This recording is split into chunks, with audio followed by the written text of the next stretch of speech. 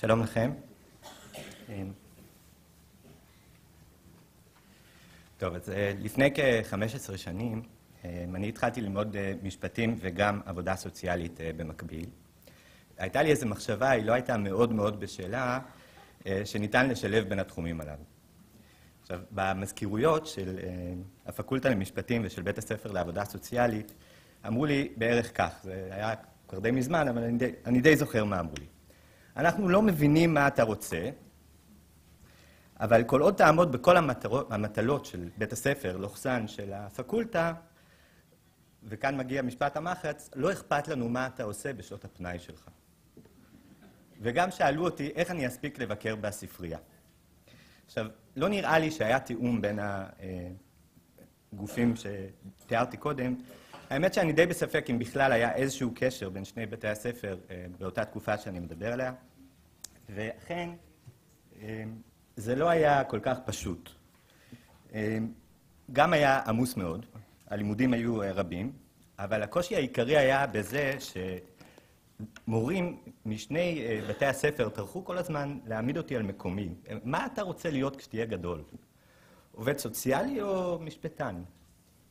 זאת אומרת, המחשבה הייתה שמדובר בשני תחומים שונים לחלוטין, שאין ביניהם שום זיקה או שותפות. כך היה, לפחות במקום שאני למדתי בו, היו אולי ניצנים ראשונים. כמה שנים אחר כך כבר פתחו מסלול משלב, משפטים ועבודה סוציאלית, שמשלב בין שני התחומים וגם נותן פטורים מאוד משמעותיים בהיקפי הלימודים, אולי כדי שהסטודנטים, בעיקר הסטודנטיות, יוכלו לבקר יותר בספרייה. עכשיו, בכל הדבר הזה נזכרתי כשנתקלתי במאמר של השופטת הילה מאיר-שלו על המרחב המשפט-טיפולי, שאני מניח שאת תדברי עליו בהמשך, אני לא, לא אדבר עליו יותר מדי, אבל מה שמאוד אהבתי בו זה שבעצם הוא דיבר על שילוב של שני תחומים שיוצרים תחום חדש. לכן, יש פה איזו כברת דרך מאוד משמעותית שנעברה בשנים הללו. ישנם עוד ועוד שיתופי פעולה פרופסיונליים בין אנשי טיפול, בין מארגנים קהילתיים ומשפטנים. הכל בכדי להגביר רווחה ו... של פרטים, של משפחות, של קהילות. בתחום המשפחה אנחנו רואים יותר ויותר עורכי דין שמתמחים בהיבטים טיפוליים, עורכי דין שעושים גירושים בשיתוף פעולה או גירושים בהסכמה, ולענייננו, ועל זה אני טיפה ארחיב, ישנו השילוב של עורכות הדין בתוך יחידת הסיוע בהליכי מהות. ולכן אני מבקש לתקן את ההזמנה שקיבלנו. בהזמנה יש כאן שאלה, משפט טיפולי הלכה למעשה עם סימן שאלה, אז אני עשיתי שיפוץ קטן ושמתי סימן קריאה שם. אני חושב שאנחנו יכולים לראות דוגמה מוצלחת מאוד של עבודת טיפול ומתן שירות משפטי שכם לשכם בתוך יחידת הסיוע, וזהו משפט טיפולי הלכה למעשה. השילוב הזה מאפשר מתן של מידע משפטי במהלך פגישות המהות. הוא מאפשר הגעה להסכמות עקרוניות. במקרים מסוימים, כמו שהוצג כאן קודם, אפילו להסכמות יותר מלאות, והכל תוך שיתוף של עורכי הדין של הצדדים. לכל חוק יש שם, שנתן לו המחוקק, וגם שנתן לו הציבור. עכשיו, המחוקק לא גילה איזו יצירתיות מאוד גדולה עם השם של החוק הזה. אני נאלץ לומר שוב ושוב את הביטוי, החוק להסדר התדיינויות בסכסוכי משפחה, הוראת שעה, תשע"ה וכולי. עכשיו, תנסו אתם לומר את החוק הזה ברצף כמה פעמים. זה מדובר על אתגר שמאוד דומה למשפט הזה, זה משפט שובר שיניים במיוחד. אגב, מצאתי אותו ברשת, אין שום קשר בינו לבין הנושא שאנחנו דנים בו, אבל זה הדרך שבה בחרתי לפתוח את הדיון במורכבות של החוק הזה. אבל החוק הזה כאמור הוא בטיפולי, פיתחנו איזה שהם יחסי קרבה, ואני כבר התרגלתי לשם המסורבל שלו, אבל לציבור זה מאוד מאוד קשה. אז הציבור מחפש כל מיני דרכי קיצור, וניתנו כמה וכמה שמות שלא משקפים בצורה אמיתית את התוכן של החוק הזה. יש שקוראים לחוק חוק המהות. עכשיו, חוק המהות זה מונח מקצועי שאולי אנשי המקצוע מכירים אותו, אבל הציבור לא מכיר, לא יודע מה זה מהות. בעיתונות ראיתי שקוראים לו חוק הגישור חובה, שזה בכלל טעות מוחלטת, כן? זאת אומרת, זה יוצר איזושהי ציפייה כאילו שבמהלך הפגישות מהות ביחידת הסיוע חייבים לעבור גישור וגם יעברו לפחות ארבע סשנים של גישור, לא מה שהולך לקרות. אמ, אני חושב שצריך אה, לעמוד על יתרון מרכזי מאוד בחוק. החוק הזה קובע שירות אוניברסלי שנותן כלים לבני משפחות שמצויים בסכסוך ליטול אחריות על עתידם, ואני מציע לקרוא לחוק הזה בשם פחות מורכב, או לפחות לכנות אותו, גם כינוי שאיננו שובר שיניים, שמשקף את המטרה והתכלית, וזהו החוק להעצמת בני המשפחה. היישום של החוק מחזיר במידה רבה את יחידות הסיוע לעבר המחשבה המקורית שנהגתה, אני מניח שחלקכם עוד היו שם לפני כ-30 שנה. אה, ועדת שיינבוים המליצה לחייב את המתדיינים לעבור תחילה ביחידה טיפולית, כתנאי לכך שהם יוכלו, אותו שער כניסה שהוזכר כאן קודם, לגשת לתובנה. ומפגשי המהות בעצם נועדו כדי לסייע למשפחות שנמצאות במצוקה ובאיזשהו אובדן שליטה על העתיד המשותף שלהם אה, את אותה הזדמנות. אה, דובר כאן קודם על זה שהיחידה מסייעת למשפחה לשקול את המצב, לבחון את הדרך הטובה להתנהלות, והכל תוך שימור יכולת לקבל החלטות ולבצען בהווה ובעתיד. אה, אני למדתי אצל דוקטור אלישבע צדן מהי העצמה, והמשמעות היא מעבר ממצב של חוסר אונים למצב של שליטה יחסית בחיים ובסביבה. זה יכול להיות במישור פרטי או במישור ציבורי, חברתי. יש פה איזושהי הצלה של סמכות שניתנת אה, לפרט בהנגדה לתחושה של חוסר אונים ואובדן שליטה אה, על ה... אנחנו יוצאים לדרך. אה, על החלטות אה, ועל אה, התנהלויות אה, מרכזית בחיים. יש כאן בעצם מעבר ממצב פסיבי למצב שהוא אקטיבי. עכשיו, מה קורה במהות? ניתנים כלים שמאפשרים צמצום של התדיינות משפטית. מאפשרים ידע על איך אפשר לשמר את היכולת לקבל החלטות בתוך המשפחה, גם כאשר חלשים בעקבות סכסוך.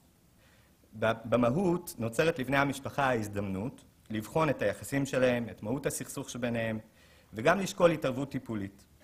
אם אנחנו נגיד את כל זה אה, למה שקורה בהתדיינות, שמה בעצם הולכים למקור חיצוני, כלומר לבית המשפט, ואומרים לו בוא אתה תחליט בשבילנו. בעצם החוק הזה הוא פטרנליסטי. זה נכון. הוא אומר, ייטב לכם אם אתם תשמרו את הזכות לקבל החלטות כאלה בעצמכם, ותבדקו את האופציה הזאת. לא מחייבים גישור, למרות שבעיתונות ואפילו במשרד האוצר ראיתי שקוראים לזה חוק גישור חובה. אם כן, יחידות הסיוע פועלות להעצמת משפחות, ואני חושב שהשם, החוק להעצמת המשפחה, הוא, הוא שם טוב ומשקף. יש מאמר של דורית אלדר אבידן, שנכתב עוד לפני כניסת החוק לתוקפו, בדיוק על הנושא הזה של יחידת סיוע כיחידה מעצימה. אז השם שנתן המחוקק הוא מסורבל, אבל התכלית של החוק היא דווקא מאוד פשוטה.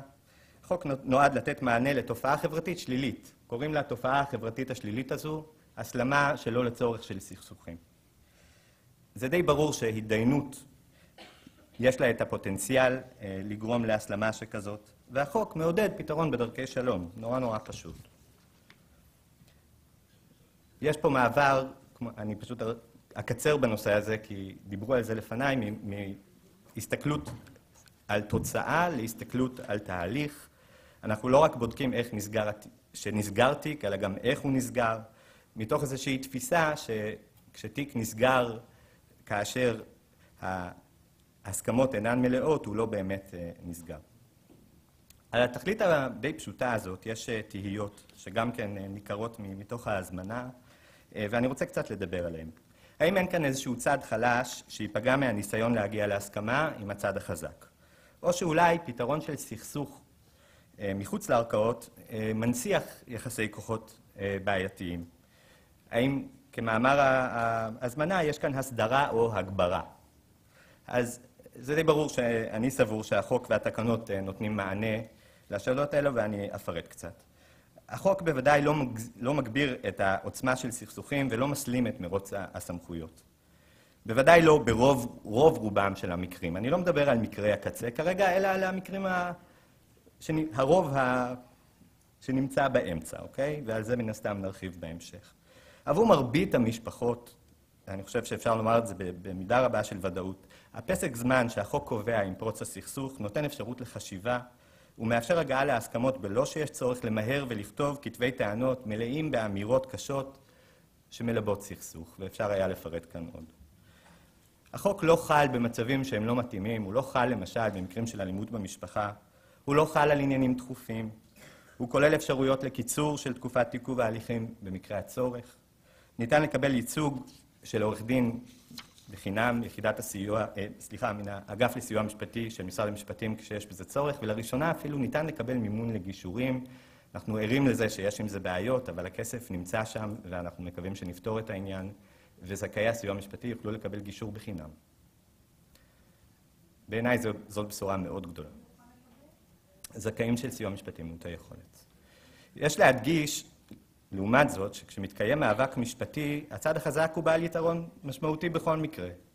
בהליך הסכמי הקונפליקט פוחת, וגם כשאין הסכמות, אנחנו שמענו קודם את דוקטור טופיסקי שדיברה על זה שהצדדים לכל הפחות מגיעים מוכנים יותר להתדיינות. אז הרעיון שביסוד החוק הוא פשוט.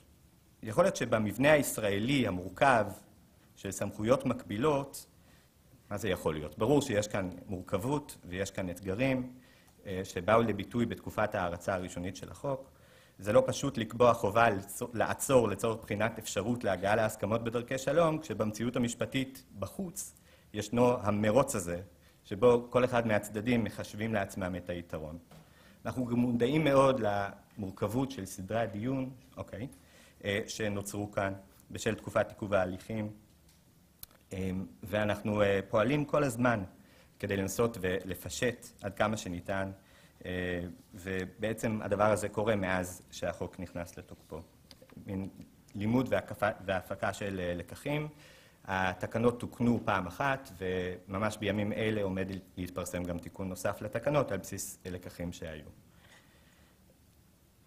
כזכור, ועדת שנהב המליצה על שקט מוחלט בתקופת עיכוב ההליכים, כלומר, אי אפשר להגיש בקשות לסעדים דחופים או סעדים זמניים בעניינים של מזונות וסדרי קשר. תוך כדי אה, התהליך של התקנת התקנות היה אה, אה, דיון משמעותי בעניין הזה, והוחלט בסופו של דבר כן לאפשר את זה במקרים דחופים. אנחנו מרגישים שאולי הלכנו קצת רחוק מדי, ואני מפציר בכל מי שיושב כאן בחדר, באולם הזה, שיש לו בנושאים הללו נגיעה, לא לעשות שימוש שמסק... באפשרות הזאת שמסכל את הרעיון אה, שעומד ביסוד החוק, והוא לאפשר את פסק הזמן בלא התדיינות. ברור לנו לחלוטין שיש צורך בתקופת ההסתגלות, ואנחנו מרגישים במידה רבה שאנחנו מתחילים להיכנס כעת לתקופה של רגיעה. אה, מצד כל המעורבים, זה בא לידי ביטוי בוועדת היגוי, שאני מרכז אותה בראשות אה, אה, עורכת הדין בתיה ארטמן, שמינתה שרת המשפטים. אנחנו נפגשים אחת לחודש ודנים בכל ההיבטים היישומיים הבעייתיים שיש כאן, ומרגישים מישיבה לישיבה איך הדברים מתחילים ככה להירגע והנתונים משתפרים והולכים, אני מתכוון לנתונים סטטיסטיים. הדבר האחרון שאני רוצה להציג בפניכם אה, זה מחקר נוסף, שבעצם אה, בא אה, לכסות תחומים שלא נחקרו במחקר של מכון ברוקדייל שהוצג כאן קודם. אנחנו נערכים כעת לעריכת מחקר בתוך משרד המשפטים על ידי היחידה שלנו שעוסקת במחקר ואסטרטגיה, שתבדוק את ההיבטים המשפטיים. כלומר, עד כמה החוק הזה בעצם מיישם את מטרתו. כשאני מדבר על המטרה, אני מתכוון לסעיף אחד לחוק. אמ, ואנחנו אה, שמחים לומר שאנחנו גם רואים שיש שיתוף פעולה אה, עם הערכאות הדיוניות שבהן הדברים קורים, וככל שיהיו אה, ממצאים הם כמובן יובאו בפני הציבור. כשהחוק נכנס לתוקף, אחד האתגרים המשמעותיים ביותר שלו היו בתיווך שלו לציבור. ברור לנו שיש עוד עבודה מאוד מאוד רבה בנושא הזה. אנחנו דיווחנו לכנסת, אני רק אראה לכם במהירות, את הנתונים אה, שדווחו אה, על פי חוק אה, בישיבת מעקב הראשונה שהייתה. אין ספק שהנתונים הללו הם נתונים, אני אומר בזהירות, אפילו טובים מדי. ואנחנו נמשיך לעקוב מקרוב בוועדת ההיגוי, אחרי המגמה הזאת, להבין מה המשמעות של הנתונים הללו. אני קורא לכל מי שמעוניין לבוא ולומר אמירה כלשהי שקשורה ביישום החוק או בשיפורים שיש בו, להיות בקשר איתי כדי שנדבר על הדברים בוועדת ההיגוי. תודה רבה לכם.